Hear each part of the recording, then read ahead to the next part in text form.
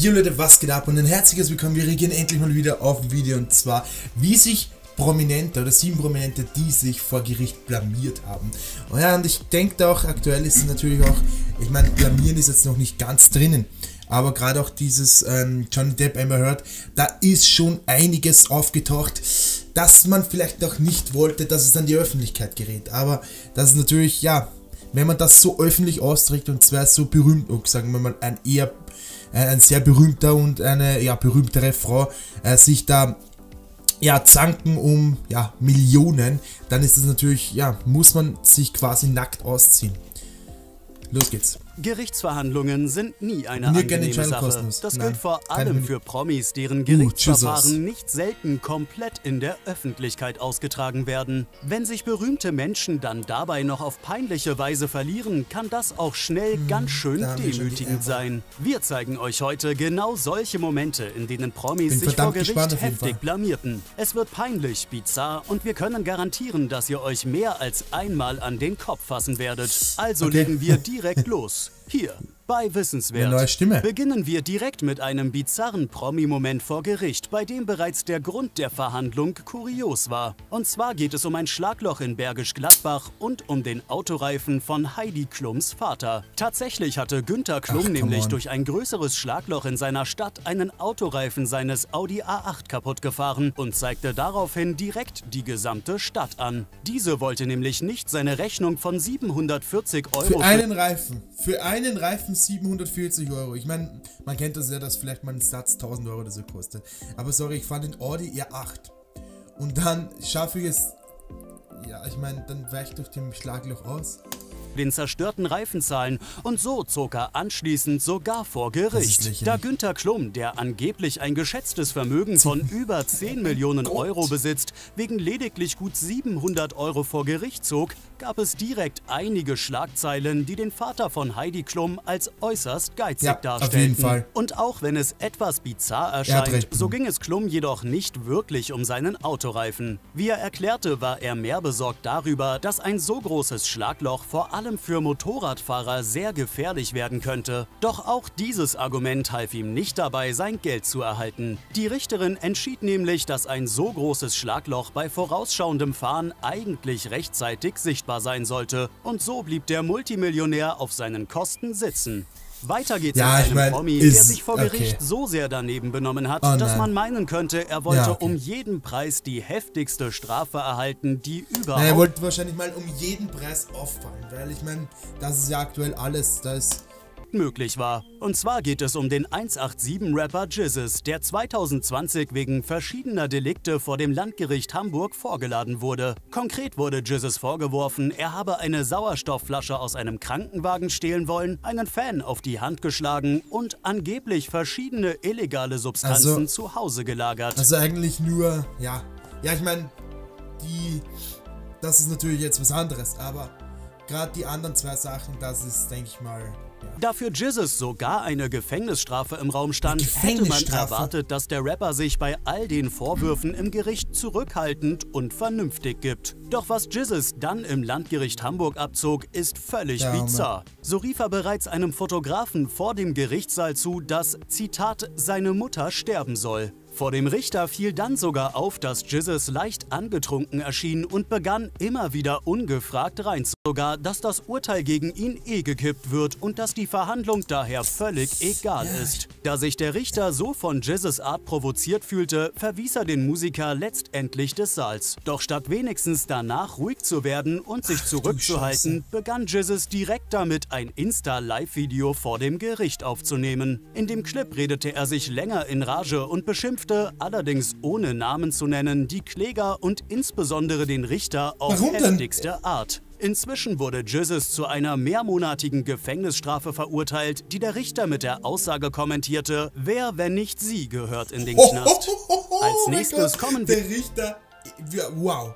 Also ja, das ist schon heftig zu einem Promi, dessen Gerichtsverfahren vor ein paar Jahren Steuern, das gesamte oder? Land mit Spannung verfolgt hat. Ja, und zwar geht es um Uli Hoeneß, den ehemaligen Manager des FC Bayern München und die Person, die wohl am meisten dazu beitrug, dass der Verein heute eine weltbekannte Marke ist. Wie die meisten wissen werden, wurde Hoeneß damals genau. wegen Steuerhinterziehung in Millionenhöhe angeklagt und musste danach ja. mehrere Jahre ins Gefängnis. Doch tatsächlich hätte Hoeneß trotz seiner Straftat dem Gefängnis entgehen können, und zwar mit einer Selbstanzeige. Dadurch hätte er nämlich seine Straftat im Vorhinein zugegeben und so eine Haftstrafe verhindert. Hoeneß machte die Selbstanzeige zwar, allerdings deutlich zu spät, da bereits öffentlich ein Verdacht gegen ihn bestand. Doch auch wenn sich Hoeneß bei der anschließenden Gerichtsverhandlung an sich nicht blamiert hat, so tätigte er im Nachhinein eine Aussage, die er niemals hätte treffen sollen. Denn als seine mehrjährige Haftstrafe endlich vorbei war und er nun unter strikten Auflagen wieder in Freiheit leben durfte, riskierte er alles mit einem sehr unüberlegten Spruch. So sagte Hoeneß auf einer Medienkonferenz, dass er der einzige Deutsche wäre, der sich selbst angezeigt hätte und trotzdem im Gefängnis landete. Auch ein Freispruch wäre völlig normal gewesen und er habe eigentlich gegen die Medien verloren, so Hoeneß. Diese Aussage ist nicht nur falsch gewesen, sie hätte fast dazu geführt, dass Höhnes Bewährungsstatus kurzum wieder zurückgenommen wurde, da man vor allem in der Bewährungsphase eigentlich Reue für so. seine Tat zeigen soll. So überlegte NRWs Justizminister öffentlich, dass Höhnes dafür eventuell Boah, wieder ins Gefängnis... Das wäre schon sehr äh, kleinkariert gewesen für einen Satz, den man gesagt hat, ähm, ja, dass man dann gleich wieder ins Gefängnis kommt. Also gehen müsste. Um dieses Schicksal noch abzuwenden, reagierte Höhnes Anwalt jedoch schnell genug und machte in einer Stellungnahme klar, dass die Aussage nicht ernst gemeint war. Kommen wir nun zu Ob einer Schauspielerin, die zurzeit als eine der erfolgreichsten Stars in Hollywood gilt. Und zwar uh, Sofia die, Vergara, ja, genau, die, die kolumbianische Schauspielerin, die unter anderem in der Sitcom Modern Family mitspielte, hatte definitiv eines der kuriosesten Gerichtsverfahren der gesamten Liste. Und zwar wurde sie wegen des Sorgerechts ihrer Kinder verklagt. Allerdings waren diese Kinder gar nicht geboren. Genauer gesagt war Vergara nicht mal schwanger. Und zwar ging es bei dem Verfahren um sogenannte sogenannte Pre-Implementation-Embryos, die sie zusammen mit ihrem Ex-Freund kreiert hatte. Sie wollte nämlich verhindern, dass das Sorgerecht für die Kinder, die aus den gefrorenen Embryos irgendwann entstehen könnten, an ihren Mann gehen könnte. Tatsächlich war es der erste Fall weltweit, bei Ach, dem ein Paar über das Sorgerecht von noch gefrorenen Embryonen stritt. Noch verrückter ist allerdings, wie Vergara und ihr Ex-Freund bei dem Fall über die Embryos sprachen. So gaben sie ihnen bereits Namen und ihr Ex-Freund plante sogar einen fuck? Anwalt für die gefrorenen Embryonen. Zu engagieren. Letztendlich wurde der Fall ja, jedoch vorzeitig auch, beendet. Den sehr, nächsten Prozessen das ist sehr, ja, lassen sich drüber reden. Unserer Liste muss man eigentlich kaum noch vorstellen. Es ist nämlich die wohl größte Gerichtsverhandlung des Jahres. Es geht um Amber Heard und Johnny Depp, deren problematische Beziehung von Anwälten und Richtern gerade in allen Details der Öffentlichkeit präsentiert wird. Der Grund für den riesigen Gerichtsprozess ist eigentlich nur ein einziger Zeitungsartikel, den Amber Heard als Gastautor für eine amerikanische Zeitung veröffentlichte und in dem sich die Schauspielerin als Opfer häuslicher Gewalt darstellte. Mit diesem Artikel und insbesondere der Aussage, dass sie durch ihren Ex-Mann Johnny Depp Missbrauch erlitten hatte, schafft schaffte sie es, Johnny Depps Karriere völlig zu ruinieren. Depp bekam danach nämlich kaum noch gut bezahlte Filmrollen und selbst Disney plante nicht mehr, ihn den legendären Jack Sparrow in Fluch der Karibik spielen zu lassen. Plante? Ist es jetzt so? Ich habe es nicht ganz... Ich habe schon gehört, dass es nicht machen darf, aber... Äh, ist es jetzt so, da hatten es nur geplant und er darf jetzt doch wieder. Also, äh, wisst ihr da was? Schreibt es gerne in den Kommentaren diesem Grund verklagte Johnny Depp seine Partnerin und die beiden zogen schließlich vor Gericht. Dort musste Amber Heard dann eine der größten Demütigungen ihrer gesamten Karriere erleiden. Im bisherigen Prozessverlauf stellte sich nämlich heraus, dass Heard gar nicht das Opfer in der Beziehung war, sondern Johnny Depp. Anders als Amber Heard es damals in den Medien darstellte, war sie es, die Depp immer wieder angriff, beleidigte und schikanierte. Plötzlich wandte sich das Blatt und immer mehr Menschen begannen sich auf die Seite von Johnny Depp zu stellen. In den sozialen Netzwerken ja. wurde Heard immer häufiger kritisiert und Menschen fingen an, Gerechtigkeit für Johnny Depp zu fordern. Inzwischen soll Heard sogar fast gänzlich aus dem Film Aquaman rausgeschnitten werden und auch ihre oh zukünftigen Projekte stehen auf der Kippe. Besonders blamabel profitabel für Hurt ist aber die Tatsache, dass sie sich eigentlich ja. alles hätte sparen können. Hurt hatte nämlich schon damals gegen Depp geklagt und die beiden richtig. haben sich sogar auf einen Vergleich in Höhe von 7 Millionen Dollar geeinigt. Somit war die Ange Sie hat dann wieder nachgestichelt. Wie dumm kann man denn sein? So, jetzt kommt der erste Kopfwasser. Wie dumm kann man sein, wenn man eh schon gewonnen hat, das Recht bekommen hat und jetzt, ja, sieht es nicht mehr so rosig aus für sie.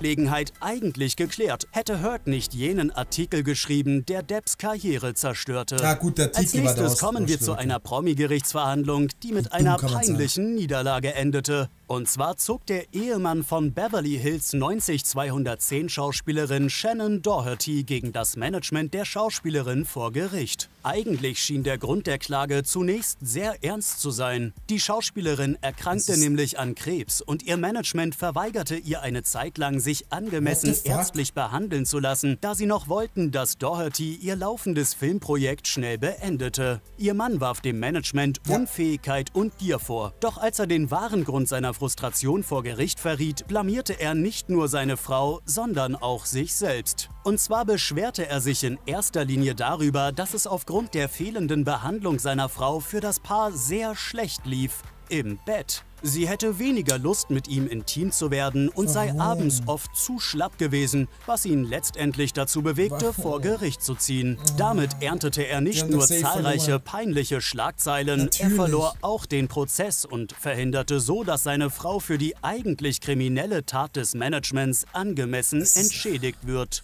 So, warum, Mann? Warum hat er das nicht... Was hat sich der Anwalt gedacht? So, es ist mal eine gute Idee zu sagen, weil sie nicht will. Mann, das, das ist ein Grund zu verklagen und das, das hätten sie auch locker gewonnen.